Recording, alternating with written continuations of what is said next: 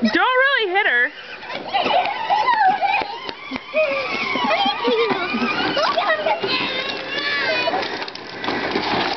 Take it off. How do you take it off? You first take your arm out. And then there. Okay, it's my turn. No. You want me?